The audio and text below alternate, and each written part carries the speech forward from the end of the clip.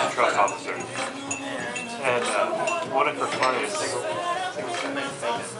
owns a premier bacon company in Fort Worth.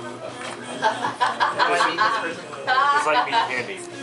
But each slice, each slice is 300 calories. Oh, I don't see that.